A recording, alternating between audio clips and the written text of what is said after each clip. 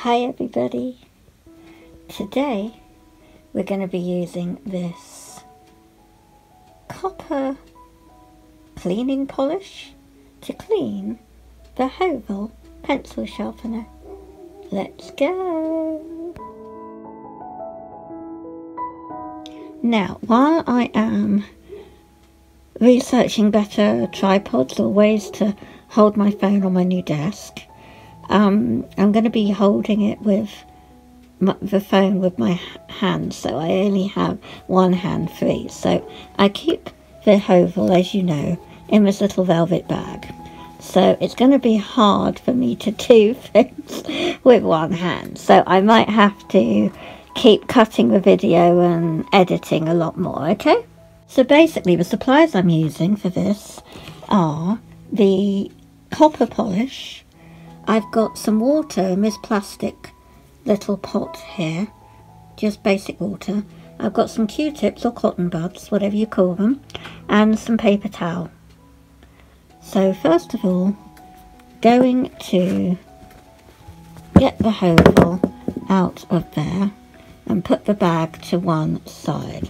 You can see it's looking used. a little bit shinier than before because I did, I felt guilty but it was so tainted. so I used a tissue to make it look a little bit more shiny. So what I'm going to do is remove the blade. So that means unscrewing, and I don't know if I can, I uh, can't do that one-handed. So we'll just, and while I'm here, I'm going to show you an easier way of putting the blade in without having to touch the, the, the, the blade so much. So basically I've just flipped it up and it's loose. So you've got this little base here and if you want to just pick it up, remember the magnets that are here. So without holding the blade, hold this turn it over and do that and pick it up with the uh, the little ledge thing. And you then only have to touch very little. I mean I've put it in the wrong way but you see what I mean. You don't have to touch it as much as I was before. So, put that over there. We have this now, and we have the Høvel loose. We'll put the blade out of the way. And we will put the blades out the way. So all we now have are the screw, the actual sharpener, and the blade holder. And that's what we're going to apply polish to. And what I'm going to do is get a Q-tip and dip it into the polish. Okay, Q-tip. Dip it into this weirdo solution. Did we pick enough up? And then, ah, here we go. So it's a creamy. So what we want to do is just really circular motions, very gently And make sure it's all covered and looking creamy and then it will probably so wow look at all that dirt coming off of the q-tip. Once it's kind of turned white I suspect from the polish we will then be putting it into some water to rinse off the polish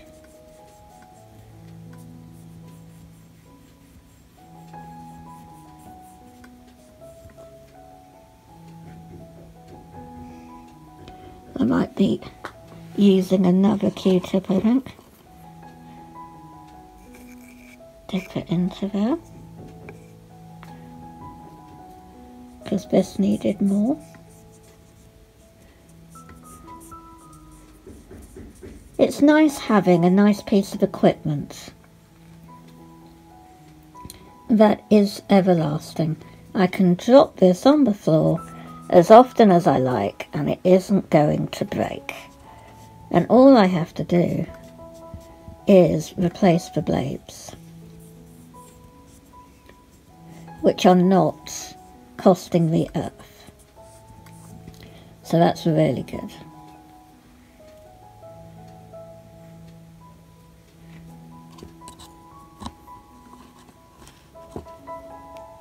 Still going black?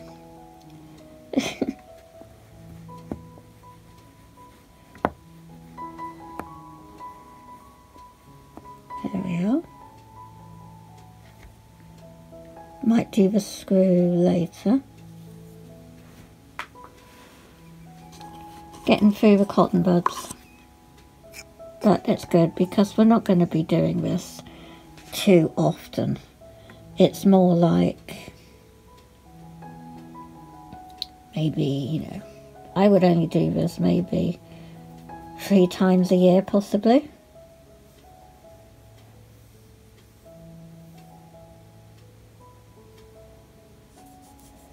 Be fun once we rinse off the cream.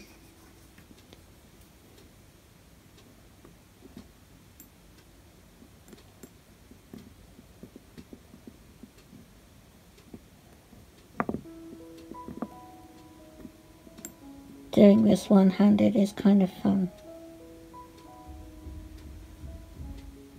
It's got a mind of its own.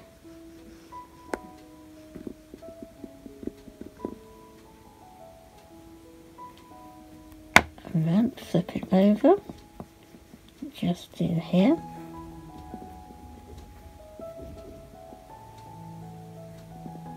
There we are. It's starting to look cleaner already. Before my eyes it's become lighter. So I'm not sure if it's got to set and go white or or not. Normally that polish does have to go white. I remember from polishing silver, it does always go white, but I've not used copper polish before. So I'll wait a little longer. I can see here it's starting to go white, little areas. So we probably got to give it 10 minutes to, to dry and then we'll rinse it off and then we're going to dry it. So it's like a three-stepped cleaning thing. That's why you really you want to do it twice a year. My um, cleaning stuff for copper actually does say on the bottle here that it is a, a lotion for aluminium and stainless steel and bronze and brass and gives a profound wash with long brilliance. So the brilliance, see the shine, is going to last for a long time. But with how long I, like many times I use this, it's like three times a year, maybe twice a year. You know, I'm not actually, I've done this for you guys to show you how to clean it, but I'm not actually that bothered about it being shiny. I just need it to work. but yeah, I can see we're setting. Ah, uh, yes, we are setting. We're going white. So we've had 10 minutes, near as damn it, and I'm going to pick him up and put them into the water.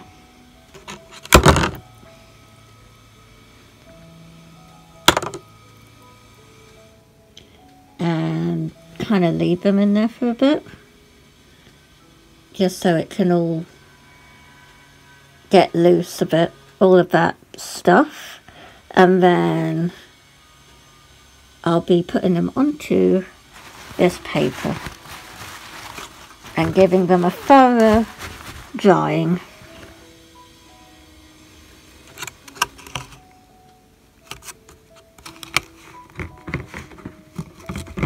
Shake them around in there. Kind of get your fingers in because you want to rub off the cream that's on it. So you're basically giving it a, a rinse. And then put it there.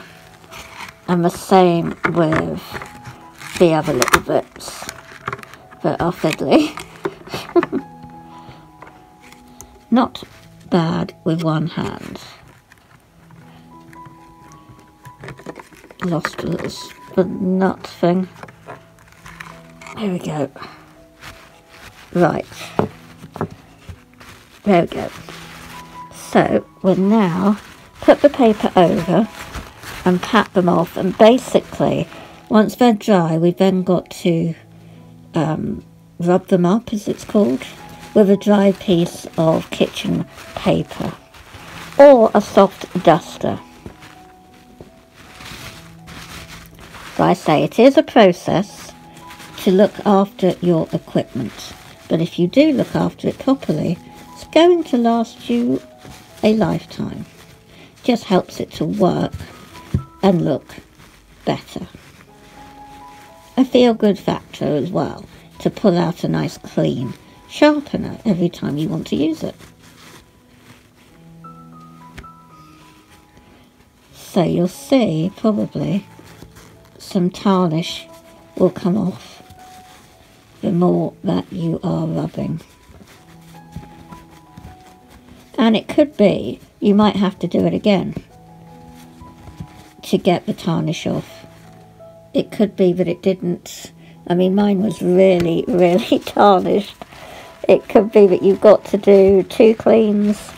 Depends. But I can see a big difference just from doing that. It's become much lighter than it was.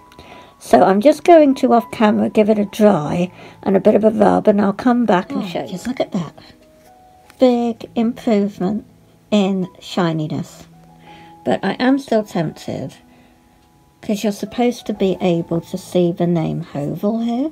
I think here is still very tarnished because of how often I have used it.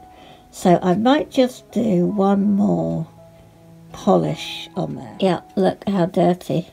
On the second clean of this area, I'm still getting a lot of dirt off. Because basically I might even have to do it a third or fourth time. Because remember I'm using a lot of graphite so it can all get, add to the tarnish. Ugh, yuck. I might even do a fourth. Just keep doing it. Just to get all of it off. Then you let it dry and then you rinse it off and then you dry it and rub it up with dry kitchen paper or duster like I said before.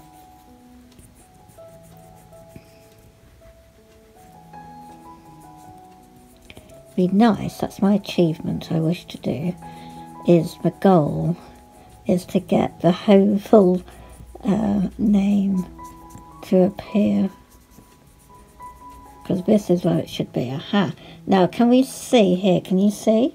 I'm seeing that this black that's here is lifting and we're getting brass colour coming here and real dirty cotton buds.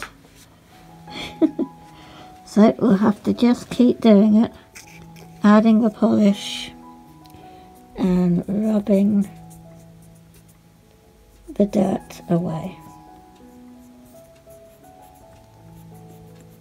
And once you've done a real good clean, and you keep on top of it once a month or so, if that's what you want to do to keep it really clean, then you know, you can.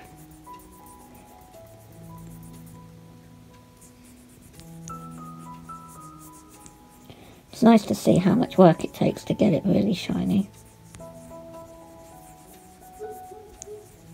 Of course, this is the cutting area, so that's why it's going to be dirty. I mean, extra dirty. That's where all of the pencil dirt is going and where the blade sits. Okay. Now, once that dries, the next time I put the camera on, it will have been in the water, being rinsed off, and I will have dried it. Just look at that shine. Much, much cleaner. And you can see the name Høvel. I know my lighting's not that great, but the name is there. So it's ever so much cleaner than it was. So, it's now time, though I must rub this part up. So, back in a moment. Just look how shiny this is. I'm super happy with the results and it was so easy and simple to clean the Høvel. Just look at the reflection off of this mat. Off of this mat you can see these lines here and then they're reflecting in the pencil sharpener because it's so shiny. so I hope you found this video helpful and useful and you might think that the Høvel is a good choice for you. I can't recommend it enough. I really, really love using this Høvel. It's just so practical. And so guys, I will see you on the next video. Don't forget to give me the thumbs up, share my video, comment if the comments are switched on. I'm still having trouble with them being auto set to off every time I publish a video. And I will see you soon. Bye.